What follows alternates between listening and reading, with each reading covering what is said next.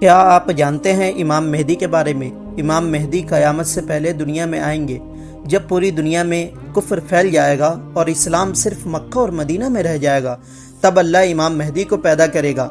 इमाम मेहदी का नाम मोहम्मद और आपके वालिद का नाम अब्दुल्ला होगा और आप हुजूर सल्लल्लाहु अलैहि वसल्लम की नस्ल से होंगे, यानी हज़रत फ़ातिमा रज़ी अल्लाह तहा की औलाद में से होंगे।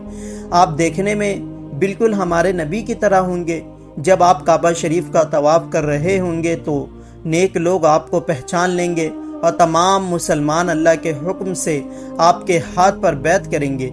इमाम मेहदी पूरी दुनिया पर इस्लाम फैला देंगे। पूरी दुनिया पर सिर्फ़ इस्लामी हुकूमत होगी। आप सात या नौ साल तक पूरी दुनिया पर हुकूमत करेंगे और तमाम मुसलमान एक प्लेटफॉर्म पर आ जाएँगे और सब आपके ताबे होंगे और पूरी दुनिया पर सिर्फ़ इमाम मेहदी की हुकूमत होगी। कुफ्र का नामो निशान मिट जाएगा